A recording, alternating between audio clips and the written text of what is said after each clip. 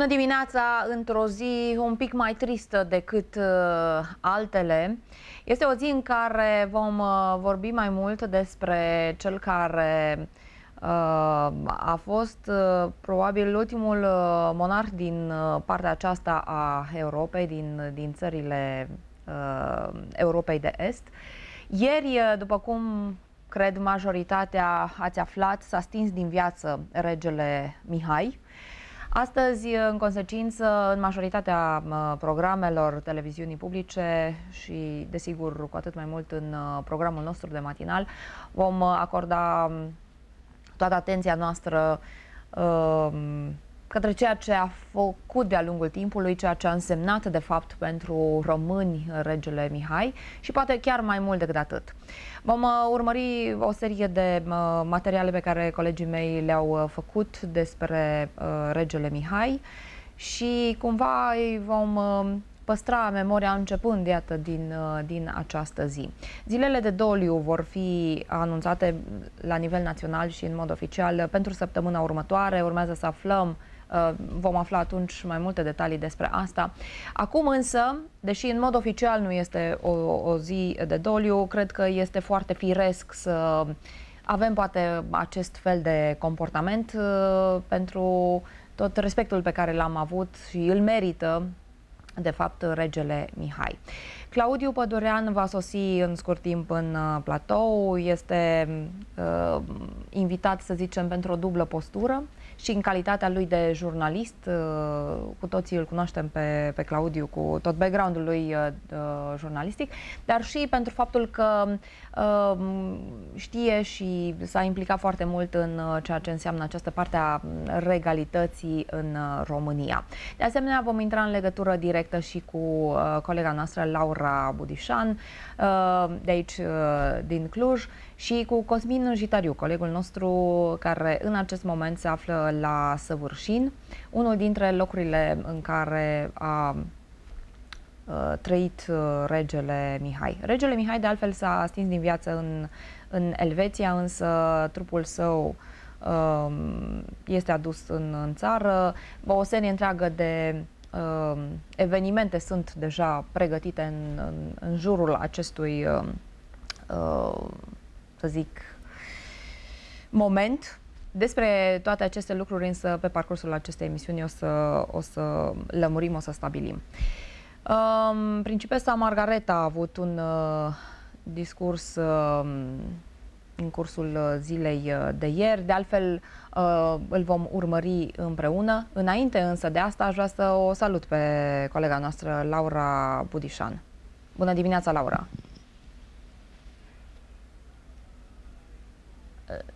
În... Bun, până când se pregătește colega noastră, um, aș vrea să mai punctez că um, majoritatea presei de astăzi a adus în atenție um, această veste tristă de uh, trecere în ființa regelui Mihai. O să răsfăim și presa puțin, puțin mai încolo, atunci când, așa cum menționam, Claudiu uh, Pădurean va fi în platou.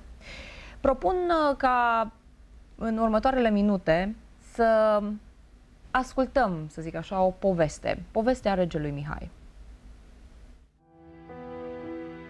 Regele Mihai I al României s-a născut la 25 octombrie 1921 la Sinaia. Este fiul legitim al regelui Carol al II-lea și al reginei mama Elena. Prima domnie a regelui Mihai I a început când avea doar șase ani, în 1927, după moartea bunicului său, regele Ferdinand. Nu mă aduc aminte aproape nimic. La viața de toate zilele cu mama mea, care mă învăța fel de fel de lucruri și cum purtare și asta, când ne în public cu mama mea, din foarte, foarte vagă, mă aduc aminte cum îmi spunea că să dau mâna cu cutare sau cu cutare. Regele copil a fost tutelat de o regență condusă de unchiul său principele Nicolae al României. După numai trei ani, micul rege este detronat chiar de tatăl său Carol al II-lea, care a revenit în țară și a exilat-o pe regina mamă în Italia, la Florența.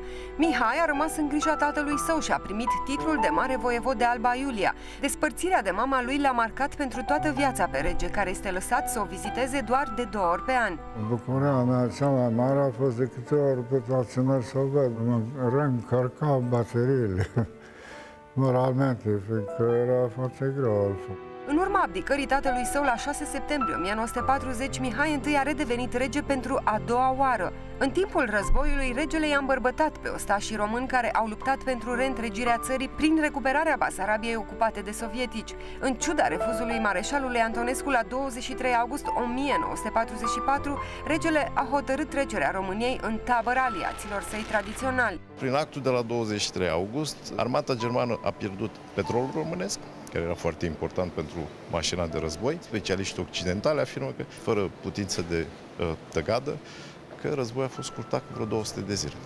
În 1947, regele a participat la nunta actualei regina Angliei. Acolo o cunoaște pe principesa Ana de Bourbon-Parma, cu care se logodește. Revine singur în țară și este obligat să abdice la 30 decembrie 1947. Palatul regal a fost înconjurat de tancuri, iar gărzile regale schimbate. A fost un act de, de a salva viața, dacă e de a salva viața cuiva, dar nu face un război civil în țară, pentru că a fost amenințat cu asta, a spus că dacă nu se amnează, se, e, nu numai tinerii care erau în închisoare, și care sunt mereu invocați. Eu țin minte ziua de 30 decembrie 1947 ce era aici în București. Era o nebunie, era o, o, o, o bulversare generală, totală, o disperare pentru că era ultimul pilon al democrației, al libertăților personale și al libertății naționale care se prăbușea.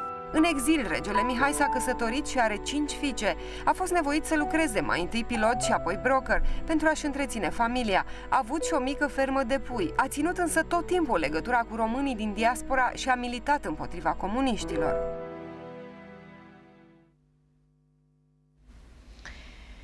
Um, sicriul cu corpul regelui Mihai va fi adus în țară săptămâna viitoare. Uh, miercuri, uh, transmite Ager Press. Înmormântarea ar urma să aibă loc sâmbătă, în data de 16 decembrie, la uh, Curtea de Arges, Argeș. Însă programul oficial uh, va fi anunțat pe parcursul acestei uh, zile uh, de către Casa Regală. Reacțiile la aflarea acestei vești uh, au fost... Uh, unanim, desigur, de tristețe, um, cu privire la ceea ce au spus sau felul în care uh, și-au transmis condoleanțele uh, cei din Cluj. Uh, aș vrea să aflăm detalii de la colega noastră, Laura Budișan, dacă este pregătită. Bună dimineața, Laura! Bună dimineața, de data aceasta ține și tehnica cu noi. Uh, vestea morții regelui a întristat și pe clujeni. Monarhiștii s-au rugat aseară pentru sufletul regelui Mihai. Clujenii pot participa la slujbe de comemorare în mai multe locașuri de cult uh, din oraș uh, până în ziua mormântării monarhului. În alt preasfințitul părinte Andrei Mitropolitul Clujului le-a transmis un mesaj de condoleanțe membrilor familiei regale. Acesta l-a avut ca oaspete pe regele Mihai și pe regina Ana de mai multe ori pe când era arhiepiscop la Alba Iulia. Și comunitatea academică a Universității Babeș-Bolyai a transmis un mesaj de condoleanțe familiei uh, regale. Regele Mihai a vizitat uh, Universitatea Clujană în mai multe rânduri. Cam atât, Irina. câteva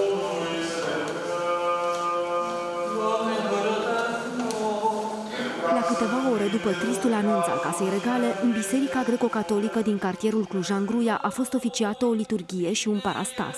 Comemorăm această zi tristă și îmi pare nespus de rău. Urma un doliu pentru toți românii, pentru țară, care probabil se va prelungi până în data de 30 decembrie, când uh, consider că este adevăratul doliu național, pentru că atunci regele a fost obligat să abdice și au venit comuniști în România. Pentru regele Mihai, pentru odihnă? Regele Mihai cred că se va face o slujbă în special. În zilele următoare vor fi organizate și alte ceremonii religioase și evenimente publice de comemorare a personalității regelui Mihai I. Am început uh, să organizăm astfel de rugăciuni pentru sufletul uh, majestății sale regelui Mihai I uh, la Cluj, uh, iată, într-o biserică de cartier, pentru că regele Mihai a fost al tuturor uh, românilor. Simpatizanții monarhiei vor lansa o petiție către autoritățile locale pentru ca strada Republicii să poarte de acum încolo numele de regele Mihai, în memoria majestății sale. Așadar, ieri, uh, ieri la ora 13, ora României, s-a stins din viață regele Mihai. El se afla la reședința sa din, uh, din Elveția. La capătâiul regelui a stat până în ultima clipă alteța sa regală, principesa Maria. Uh, avem și noi un scurt material cu declarațiile pe care le-a făcut principesa și propun să-l urmărim chiar acum. Principesa Margareta. Români, țara a pierdut pe regele Mihai I. Timp de peste nouă decenii, el a închinat României toate puterile, cu devotament și răbdare. Am pierdut, ca voi toți, un părinte, o pierdere personală și o pierdere pentru întreaga națiune. În aceste clipe grele, suntem uniți în suferința noastră. Cu infinită iubire și principii puternice, regele Mihai a scris în cartea neamului cea mai valoroasă pagină din istoria contemporană. Bunătatea și iertarea sa au învins toate relele secolului trecut. Înțelepciunea lui a asigurat continuitate identității noastre în momente de gravă abatere de la mersul firesc al țării. Regele nostru a fost o parte din fibra statului român. Prin întreaga sa viață, tatăl meu a continuat legătura familiei regale cu națiunea română. Pentru ziua noastră de mâine, el ne-a dăruit ziua lui de astăzi. Începe un nou timp pentru Casa Regală a României, cu aceleași principii și sentimente ca ale tatălui meu. Voi continua să servesc interesele fundamentale ale poporului român. Așa să ne ajute Dumnezeu. Principesa Margareta, iată, uh, în acest moment foarte greu, uh, în, în, în ziua în care tatăl său a murit, a uh, găsit puterea să transmită acest mesaj în, într-un fel foarte decent și foarte frumos, de apreciat această doamnă care, de altfel, de-a lungul timpului a încercat să, să facă lucruri frumoase și lucruri bune și chiar cred că i-a ieșit. Și mă bucur, mă bucur pentru faptul că există a, acest, a, acest fel de decență și acest fel de, de comportament care este un model uh, de urmat pentru foarte, foarte mulți. Să mai menționăm că trupul neînsuflețit al regelui Mihai va fi depus în holul de onoare al castelului Peleș, iar apoi pentru două zile în, în sala tronului la Palatul Regal din Calea Victoriei. Slujba de înmormântare va avea loc la Catedrala Patriarhală, înmormântarea va avea loc uh, la Curtea de Argeș, în noua Catedrală Arhiepiscopală și Regală. La dorința uh, custodelui coroanei române, funeraliile regelui Mihai I vor respecta tradiția înaintașilor uh, majestății sale defuncte. Și de asemenea uh, aș vrea să menționez că de astăzi uh, vor fi deschise cărți de condoleanțe simultan la Castelul uh, Peleș, la Palatul Regal din Calea Victoriei și la Palatul Elisabeta. Ele vor fi la dispoziția publicului timp de 40 de zile. De asemenea, condoleanțele pot fi transmise și uh, uh, pe adresa familiaregală.ro la uh, secțiunea mesaje. Toți cei care doresc să depună flori, gerbe sau coroane pot să o facă începând de astăzi, de, sigur, uh, de mers în locurile menționate mai devreme. Vă propun în uh, clipele următoare să vedem un uh, reportaj în care îl vedem pe, pe regele Mihai în, în război. Cum a participat pe front? 10 mai ne dă azi, din pragul istoriei noastre glorioase, sfatul înțelept al nădejdii și de stâncă a drepturilor nepieritoare. Antonescu nu lăsa pe rege să se implice în politică. Suveranul colabora însă cu partidele din opoziție, iar pe 23 august 1944, regele Mihai l-a destituit și l-a arestat pentru că refuzase să semneze armistițiul cu Națiunile Unite. Armata Roșie ocupase deja Iașul. În pofida faptului că existau unele semnale care veneau de la germani, chiar de la serviciile de informații parțial fidele lui Antonescu, ceea ce s-a întâmplat în după amiaza acelei zile a fost o surpriză pentru Antonescu. Armata s-a raliat uh, Ordinului Regal și România a schimbat practic tabăra. La ora 22, suveranul a difuzat proclamația către țară, anunța revenirea la un regim democratic și întoarcerea armelor împotriva Germaniei. Chestiunea principală atunci cu care mă rezenam eu toată populația României care a ajuns să se, nu mai putea să suporte războiul, toți eram autori, partidele politice la fel și armata. Deci eu aveam toată armata în spatele meu. S-a executat fără nicio șovăire, n-a fost o singură defecțiune.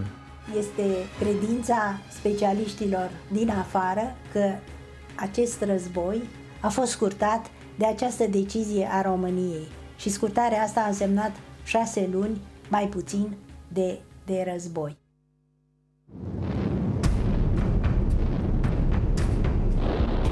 Nemții s-au răzbunat și au bombardat Bucureștiul timp de trei zile. Au fost sute de morți și mii de răniți. Dar soldații români au eliberat Bucureștiul înainte de 28 august, când au ajuns rușii în capitală. Ceea ce s-a întâmplat la 23 august 44 a avut drept rezultat luarea unui număr imens de prizonieri români de către sovietici. Vechile cifre vorbeau de 130.000 de prizonieri români, uh, cifre mai noi vorbesc de peste 166.000 de soldați și ofițeri. Asta a însemnat de practic uh, quasi totalitatea a două armate române. Ajunși în țară, rușii au violat și șefuii civili. Au luat armament, muniție, vehicule, avioane, toată flota românească militară și civilă. Armistițiul a stabilit ca România să plătească despăgubiri către URSS în valoare de 300 de milioane de dolari. Și Basarabia și Bucovina de Nord le-a fost cedată. Marii învingători ai războiului au împărțit lumea în secret. În toamna anului 1944, Churchill a făcut o vizită în Uniunea Sovietică ocazie cu care este acea celebră fază a șervețelului pe care, la sugestia lui Churchill, Stalin uh, bifează pe acel faimos petic de hârtie. Din păcate, pentru zona noastră, amprenta stăpânirii sovietice a fost cu mult peste 80%. Peste câțiva ani de zile stăpânirea a fost totală. Românii au recucerit Transilvania. La 25 octombrie, chiar de ziua regelui Mihai, au fost eliberate ultimele localități românești, Carei și Satu Mare. Peste 500 de mii de soldați au fost însă obligați să continue războiul. Um, unul dintre locurile în care a stat chiar mult și unul dintre locurile frumoase pe care uh, le-a avut și le-a apreciat regele Mihai este castelul de la Săvârșin.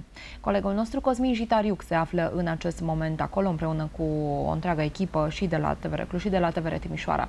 Aș vrea să vedem cum se văd lucrurile de acolo, de la, de la Săvârșin. Bună dimineața, Cosmin!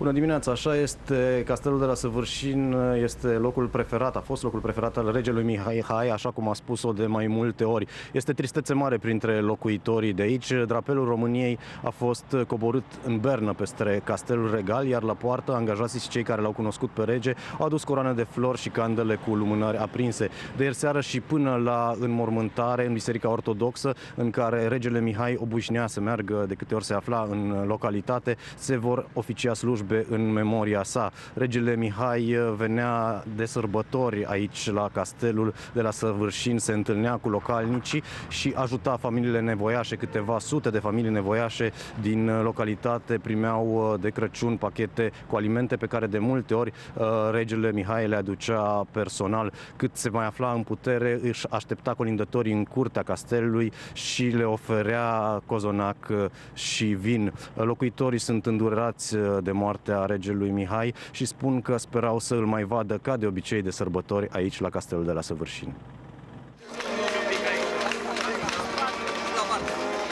diferit acasă.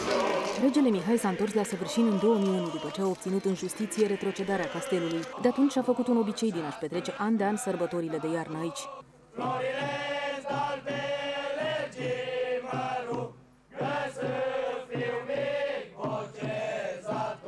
Regele Mihai îi primea pe colindători în curtea castelului și le oferea cozonac, vin fiert sau ceai cald. Stătea de vorbă cu toată lumea și făcea zeci de fotografii. A ținut să împartă de fiecare dată alimente pentru sute de familii nevoiașe. La volanul mașinii colinda orașul pentru a le duce cadourile chiar în poarta casei.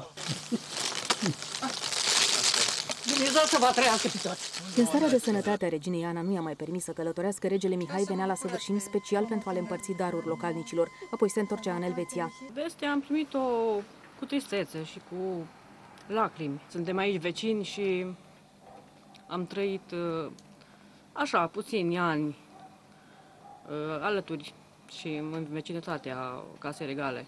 Regele Mihai spunea mereu că Săvârșin este locul său preferat. Îi amintea de tinerețe, când se retrăgea deseori aici. Localnicii l-au iubit mereu pentru deschiderea față de oamenii simpli. Mergea în centru fiecare zi la un magazin și cumpăra pentru regina și pentru el câte un covric și stătea de vorbă cu bătrânii din uh, care erau acolo. Pentru noi a fost uh, regele ca un om, un constătean al comunei, un constătean care pentru noi nu că a fost rege, a fost ca un tovarăș, un prieten. Cei mai în vârstă încă își amintesc cum tânărul rege însoțit de regina mamă Elena îi vizita acasă. Vom organiza în fiecare zi, începând din seara aceasta, după slujba vecerniei cu litie, slujbe de pomenire în amintirea majestății sale regele Mihai I, până în ziua înmormântării sale. Regele Mihai a venit ultima oară la Săvârșin în vara lui 2014, când împreună cu regina Ana a participat la inaugurarea casei de oaspeți din satul regal. Castelul de la Săvârșin, pe care unii chiar l-au vizitat, alții nu știau că se poate vizita, dar este un loc pe care poate de acum încolo cu atât mai mult îi vor atrage pe pe turiști, pe cei care l-au apreciat pe regele Mihai și care apreciază în continuare familia de monar. Bun venit, Claudiu! Bine v-am găsit! Uh, chiar uh, povesteam în timp ce urmăream uh, acest reportaj că și tu ai fost de multe ori la acest castel. Cred că mm, în iarna trecută, dacă nu mă înșel, ai fost prezent acolo sau când a fost ultima oară când ai fost la castelul de la Săvârșin? Am fost prezent de foarte, foarte multe ori pentru că în ultimii ani noi am organizat uh, colindul uh, regal uh, de la Săvârșin, concertul regal de colinde care are loc uh, în mod tradițional în fiecare an. În acest an, din motive de doliu, nu va mai avea loc. Uh, vom merge totuși uh, să colindăm uh, familia regală în data de 23 decembrie, uh, pentru că vrem să ducem un mesaj uh, uh, extraordinar, cel al nașterii Mântuitorului și pentru că întotdeauna după durere există uh, speranță și pentru noi, pentru creștini, moartea nu este moarte, nu este trecere în neființă, așa cum spun unii, ci este un pas necesar pe care îl vom face cu toții către bucuria învierii. Și până la învierea de pe urmă, până la judecata de apoi, sper ca Bunul Dumnezeu uh,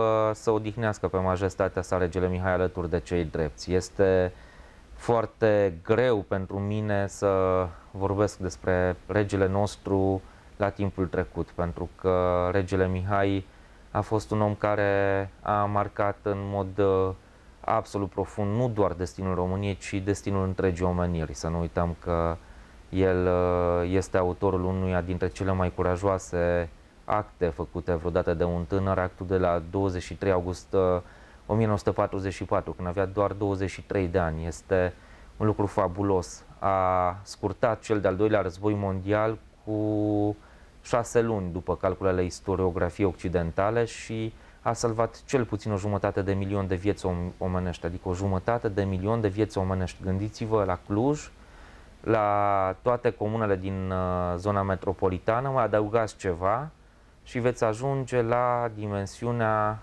consecințelor gestului curajos făcut de regele Mihai. Este absolut extraordinar și pentru că tot am vorbit de Cluj, Să nu uităm că astăzi Clujul este un oraș uh, românesc, pentru că Transilvania de Nord a fost restituită României tot ca o consecință a actului de la 23 august 1944. Dar regele a însemnat mult mai mult, a făcut mult mai mult pentru România decât uh, acel uh, act. Este o personalitate uh, a cărei uh, dimensiuni încă nu le putem înțelege. Probabil că o să treacă o jumătate de secol până când uh, o să putem uh, să reflectăm cu obiectivitate la ceea ce a însemnat uh, regele Mihai I și care este moștenirea pe care o lasă el. Este o personalitate absolut fabuloasă, un personaj uh, demn de roman, deja devenit subiect de film și cred că noi ar trebui să fim mândri de faptul că iată, am fost contemporan cu un astfel de om și totuși în ultimii ani România a făcut o serie de gesturi reparatorii față de majestatea sa și față de familia regală.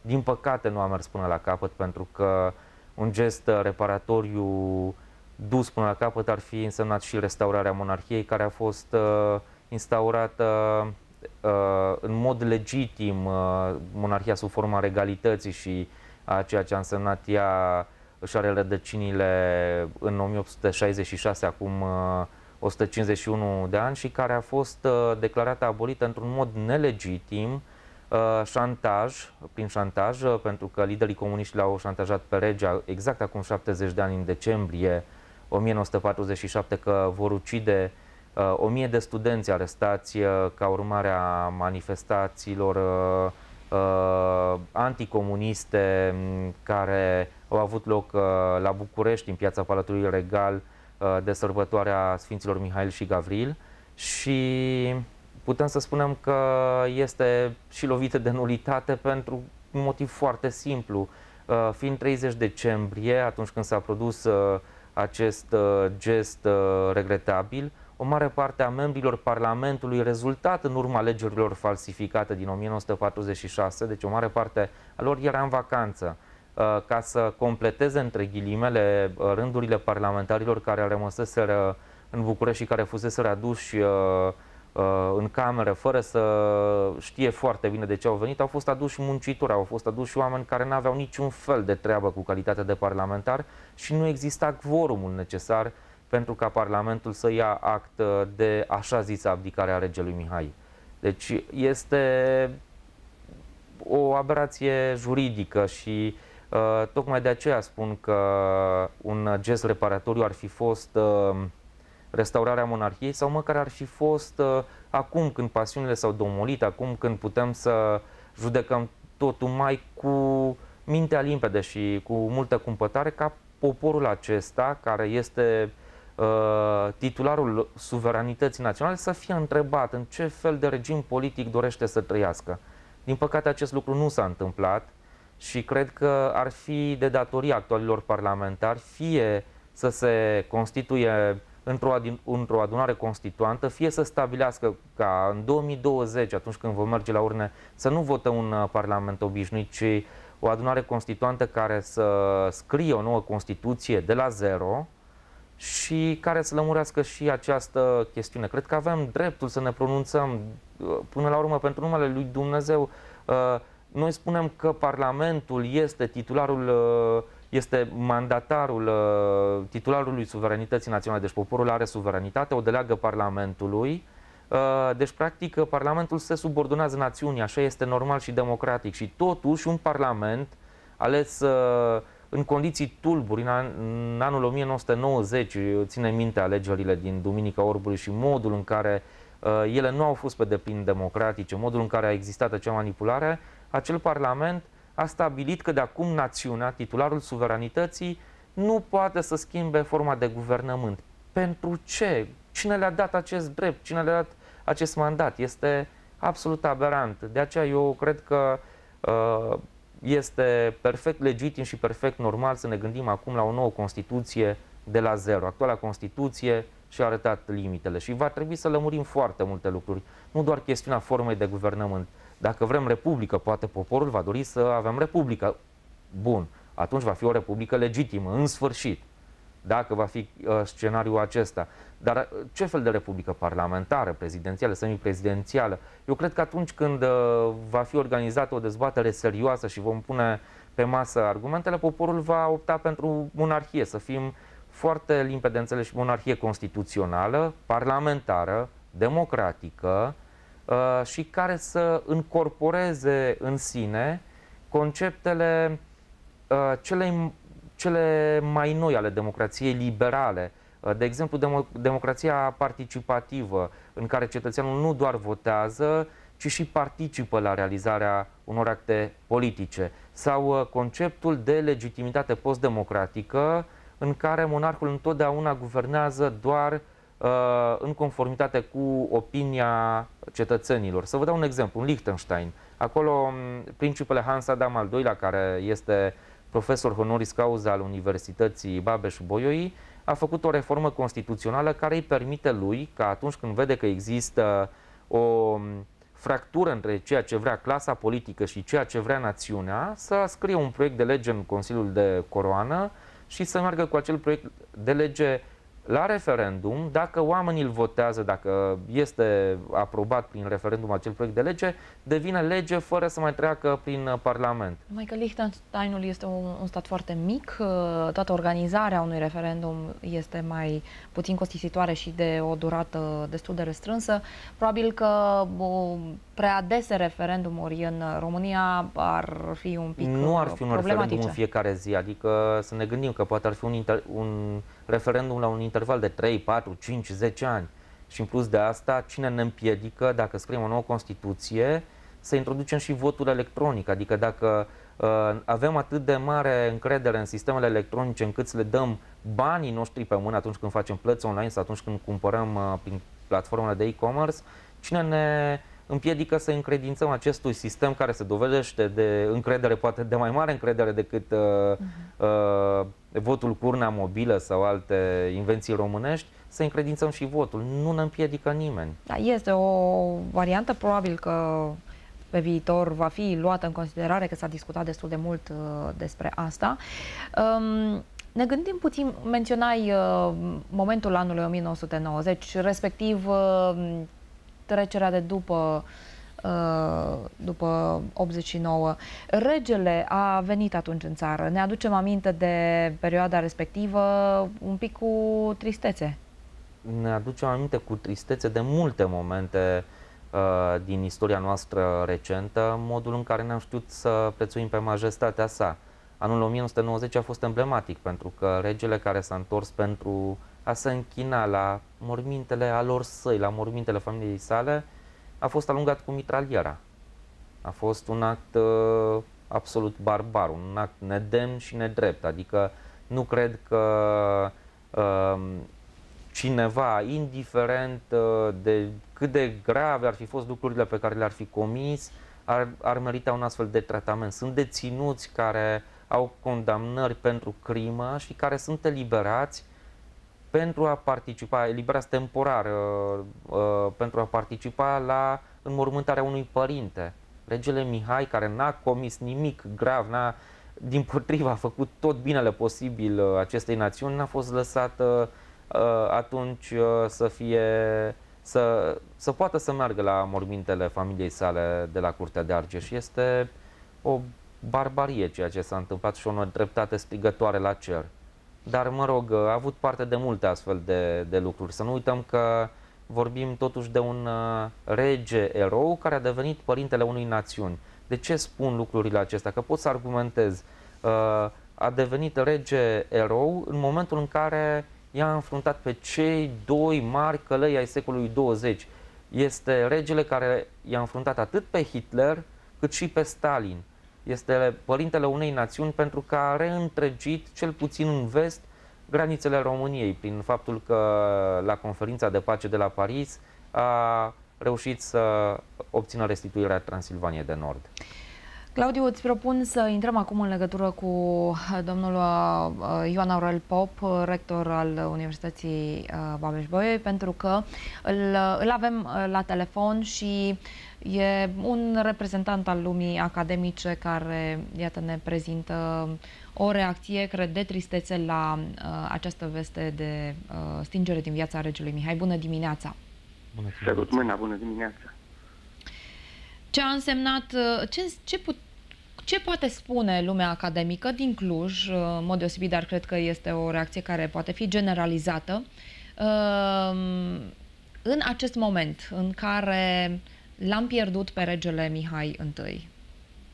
Regele Mihai I a fost un punct de reper extrem de important pentru normalitatea vieții academice, universitare, a vieții științifice din România. Se știe că regii României erau membri de onoare a Academiei Române.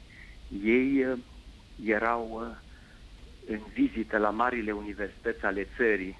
A fost o vreme când România avea universități la București, la Cluj, la Iași, la Cernăuți, România interbelică, uh, universități aflate sub protecția Casei Regale. După normalizarea oarecum a situației la noi, în anii aceștia din urmă, regele Mihai a fost o prezență în viața universității noastre. A fost profesor și senator honoris causa al acestei universități. Majestatea sa și membrii Casei Regale au vizitat în mai multe rânduri universitatea, au participat la ceremonii în cadrul acestei universități.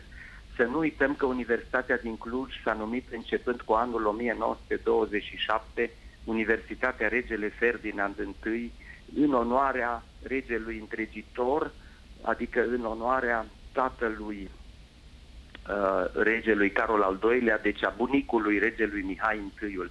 Prin urmare, universitățile au fost legate de Casa Regală și prezența Casei Regale și a regilor României, inclusiv a regelui Mihai I în viața acestor universități, a reprezentat realism normalitate și spirit de echilibru. Da, mulțumesc pentru faptul a, că... Aș vrea și eu să-i mulțumesc public uh, domnului profesor Ioan Aurel Pop pentru generozitatea pe care a dovedit-o în uh, tot uh, parcursul activității sale publice ca rector și înainte și uh, vă sunt și personal, dar cred că pot să dau glas și Uh, recunoștinței uh, celor care l-au da. iubit pe regele Mihai I pentru modul absolut extraordinar în care v-ați uh, comportat, domnule profesor, de fiecare dată când membrii familiei regale au fost oaspeții Clujului și aș vrea să vă rog, din partea mea personal, nu am vorbit cu nimeni până acum, e doar o idee personală, să reflectați la posibilitatea ca scaunul de membru onorific al comunității academice clujene, uh, al majestății sale regelui Mihai I, să nu rămână gol. Da. Cred că ar fi potrivit, uh, dacă veți găsi de cuvință Așa să este. găsim... Ne vom, ne vom gândi la asta, evident, cu organismele astea de conducere, Senatul Universității, în primul rând, care este principalul for de conducere al Universității și uh, vom lua decizia cea mai potrivită, fiindcă cum am spus, în viața uh, românilor monarhia este o tradiție foarte veche, iar dinastia regală a noastră din secolul XIX până azi a fost un extraordinar punct de reper, factor de echilibru și factor stabilizator. De aceea vă rog, domnule Claudiu Pădurean, să transmiteți casei regale condoleanțele noastre și în mod direct. Vă mulțumesc foarte mult, o să fac așa Uh, domnule profesor, și vă mulțumesc încă o dată pentru, pentru tot ceea ce ați făcut. Condoleanțe uh, încă o dată. Mulțumesc. Claudiu, uh, într-adevăr, nu numai lumea academică, toată, toată lumea, din ce am reușit, sigur, și eu și din ce putem să urmărim, în spațiile virtuale, în spațiile publice, pur și simplu, în mass media, vie această, acest acest comportament, comportament de tristețe, de, uh, de tristețe mm, a tuturor celor care poate nu și-au manifestat neapărat uh, a, cum să spun, preferința pentru uh, ca România să fie o monarhie.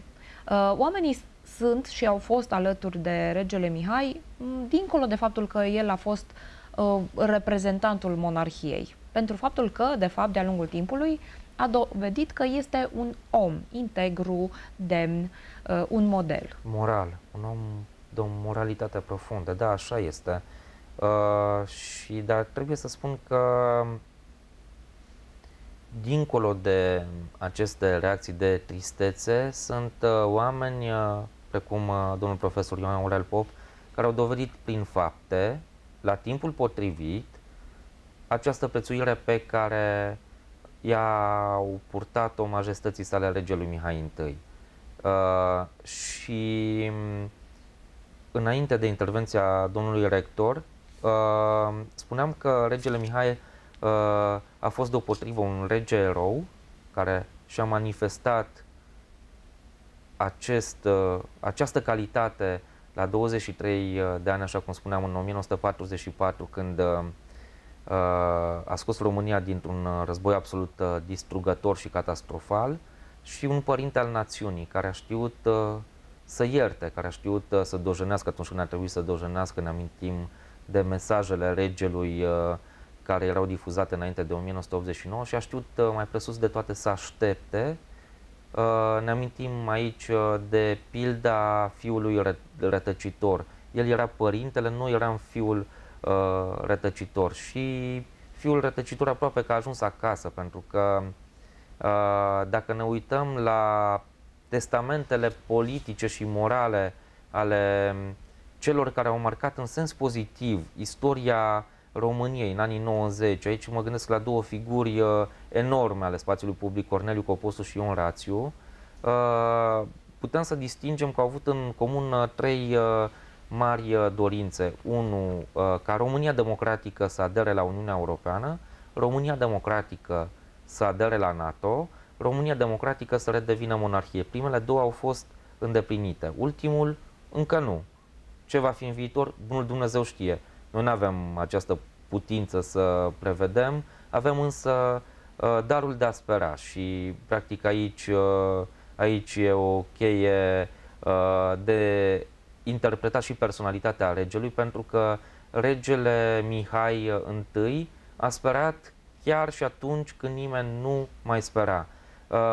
E o carte foarte interesantă apărută la editura Humanitas, Regina Ana Uh, care povestește viața și exilul uh, acestei regine și la un moment dat regina Ana mărturisește în această carte că își pierduse speranța că România va fi vreodată liberă. Regele însă spera, își făcea datoria și transmitea această speranță românilor, chiar dacă uneori uh, prin mijloace precare. Tot acea carte Uh, arată cum regina l ajuta să înregistreze acasă pe un magnetofon mesajele pe care regele Mihai I le trimita posturilor uh, de radio occidentale care aveau emisie în limba română. Să nu uităm însă că aceste posturi au avut uh, o lungă perioadă în care au cenzurat cuvântul regelui. Pur și simplu nu l-au mai difuzat. De ce? Ceaușescu devenise uh, copilul răsfățat al Occidentului după 1968 uh, și Uh, de asemenea, era foarte rentabil să faci afaceri, să faci business cu România comunistă și regele, prin poziția sa verticală, prin poziția sa morală, incomoda, pentru că reamintea tuturor faptul că regimul comunist din România este un regim nelegitim, un regim criminal și un regim care nu exprima voința românilor. Claudiu, îți propun să uh, luăm un nou telefon, pentru că domnul uh, Doru Panfil, rector al Universității de Știință Uh, de USAMV, științe agricole și medicină veterinară, îmi cer scuze pentru uh, scăparea aceasta, uh, este la telefon. De altfel, regele Mihai I a fost și doctor honoris causa al acestei universități și, dacă bine știu, a fost și la inaugurarea aulei magna din această universitate. Bună dimineața! Bună dimineața! Bună dimineața, domnule profesor! Este o mm, mare tristețe pe care o exprimă lumea academică, cred dumneavoastră cu atât mai mult ca reprezentant al acestei universități. Da, într-adevăr, cred că întreaga comunitate academică uh, are această mare întristare pentru această pierdere la nivel național a unei mari personalități. Uh, noi am avut, într-adevăr, uh, o șansă deosebită, având în vedere în istoria universității bucuria de a-l avea la inaugurarea uh, aulei Magna, uh, sigur, atunci doar la o vârstă frate de șase ani, dar uh, am avut bucuria de a-l avea după aceea, în 2009, în uh, universitate, împreună cu Regina, atunci când mi s-a acordat uh, titlul de doctor honoris causa și am fost deosebit de, de onorați de faptul că a acceptat și de-al a fost și singurul titlu de doctor honoris causa la care a și participat. Uh, legăturile cu Casa Regală, desigur, au uh, continuat și după aceea și am fost a doua oară onorați când uh, au acceptat ca Institutul de Științele Vieții la acea vreme era poate cel mai performant uh, institut de cercetări pe care îl aveam și unul dintre cele mai performante în domeniul biotehnologiei din țara noastră, uh, să ia sigur și titulatura de institut de uh, cercetare uh, regele Mihai I al uh, României, iar cele două aule acestui institut uh, au fost uh, denumite uh, Ferdinand și Ana și am primit din partea Casei Regale și două copii uh, a majestăților lor, care sigur a fost uh, la, un, la inaugurare și prințesa Margareta și uh, prințul consort acum uh, Duda și legăturile au continuat uh, cu Casa Regală și cu studenții noștri care au încercat să dea o mână de ajutor uh, la amenajarea Alatului uh, Sădărșin și recent, sigur, o serie de alte manifestări uh, academice. Uh, am avut bucuria să avem și pe alte lor uh, regale la deschidere. Ne-a onorat mult această implicare în viața academică a universității noastre. Mesajul majestății sale rămâne ca un moto pentru studenți și pentru viitoarele generații de cadre didactice, iar în memoria noastră greu se va șterge acest moment de excepție ca să nu spun și unul personal, având uh, incredibilă șansă și onoare să am uh, familia regală chiar uh, invitată acasă pentru un uh, dejun. Moment, într-adevăr, de neuitat într-un moment cât se poate de trist. Domnule profesor, uh, și eu personal vreau să vă mulțumesc pentru faptele cu care v-ați uh, dovedit uh, prețuirea și dragostea față de familia regală, pentru că sunt în uh, această lume unii care își dovedesc dragostea prin vorbe. Dumneavoastră ați făcut mult mai mult, ați făcut niște fapte care o să rămână, cred, în istoria Clujului și uh, cred că drumul acesta pe care l-ați început merită să fie continuat. Să știți că poate fac o dezvăluire mă rog, cu titlu personal, uh, poate n-ar trebui să spun, dar uh, nu ar fi diplomatic să spun, dar cred că trebuie să spun uh, aceste lucruri și dumneavoastră și Universitatea Clujană se bucură de o foarte mare prețuire și de un respect foarte adânc printre membrii familiei regale și cred că nu pot să vă mulțumesc doar în numele meu, ci și în numele tuturor celor care l-au iubit pe regele Mihai I.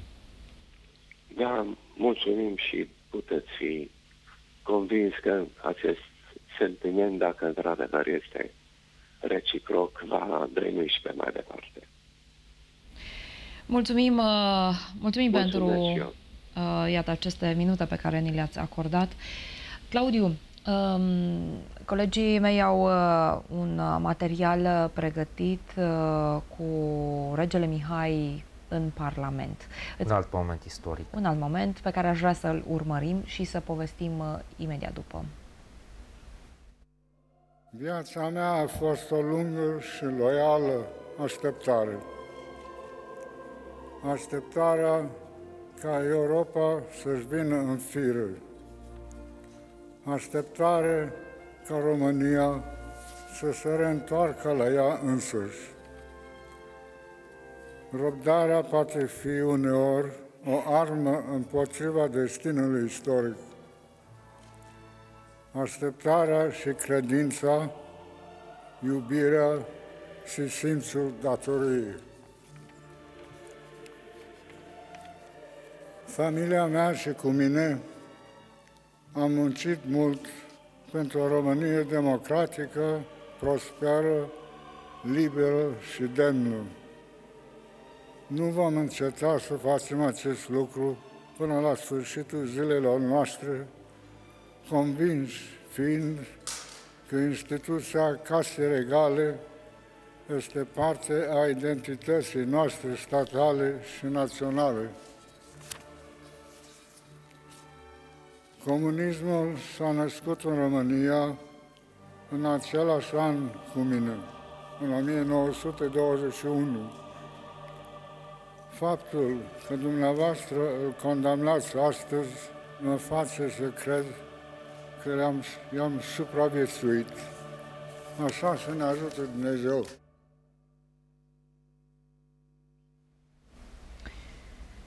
Spuneai uh, foarte bine, un moment de asemenea istoric uh, când a avut loc acest discurs în uh, Parlamentul României.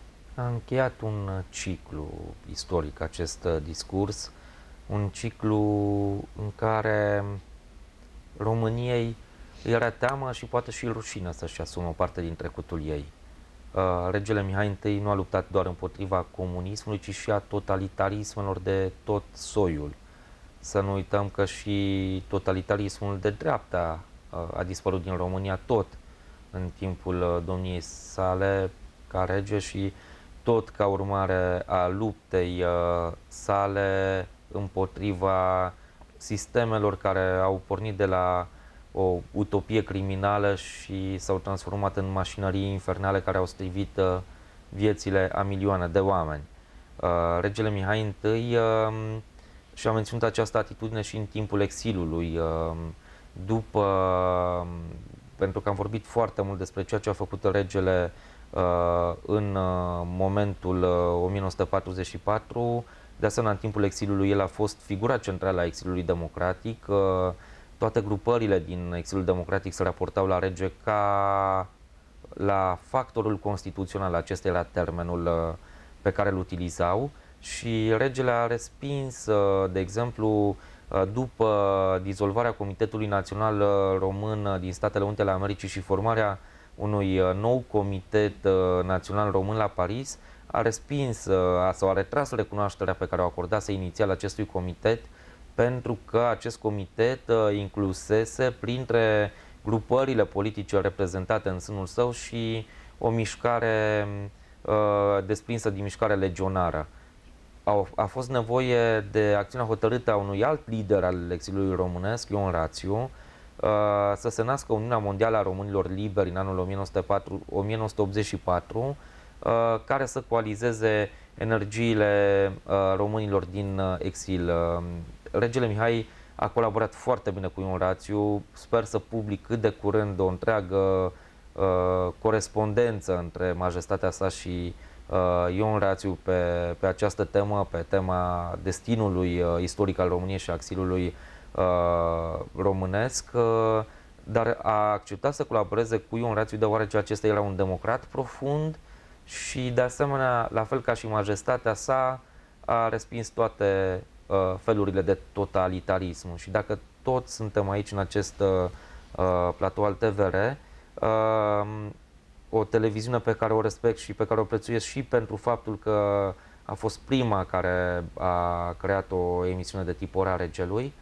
Ehm, vreau să vorbim puțin uh, și despre calomniile care Dacă au fost poți aduse să o concentrezi, regelui. Da. această idee să o concentrezi pentru că mai avem sub un minut. Da. Uh... Tu spuneai foarte bine mai devreme, putem să vorbim despre rege 25 de ore neîntrerupt, dar din păcate matinalul da. are un termen un pic mai Vreau să, să le spun uh, românilor că nu există niciun sâmbure de adevăr în acea poveste cu regele care a plecat cu trenul uh, încărcat de aur, a plecat cu câteva valize și comuniștii i-au, i-au controlat foarte atent bagajele și au și confiscat o parte dintre bijuteriile reginei Elena și le recomand celor care doresc să afle mai multe amănunte despre activitatea regelui, o carte nemaipomenită, Exilul regelui, scrisă de Diana Mandache.